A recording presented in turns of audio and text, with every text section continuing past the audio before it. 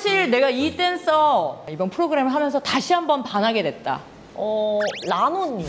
나도 사실 나만을 얘기하려고 그랬어. 어? 왜죠, 왜죠? 저 언니 기대했죠? 어.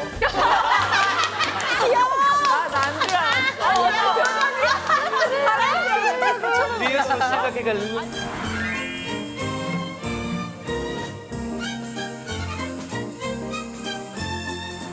솔직히 속으로 고민했어요. 아, 리아킴 언니, 리아킴 했는데 사실 한 우물만 파자. 아. 이 voguing을 정말 대중분들이 알아주지 않아도 나는 내가 좋아하는 거를 진짜 깊게 파자.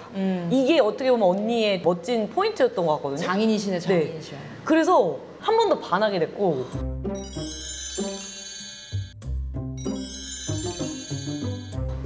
지금 오른쪽에서 자꾸 언니가 계속 연기를 하시 아, 나 아니 아니 아니.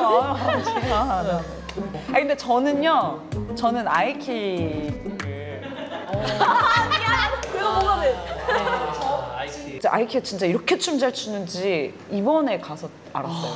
그러니까 잘하는 줄 알았지만 좋아? 이 정도로 잘하는 줄 몰라. 그럼 시청자분들. 어. 아, 저러려고 가져온 거예요? 어. 모든 버스킹에서 다 찢어놨어요.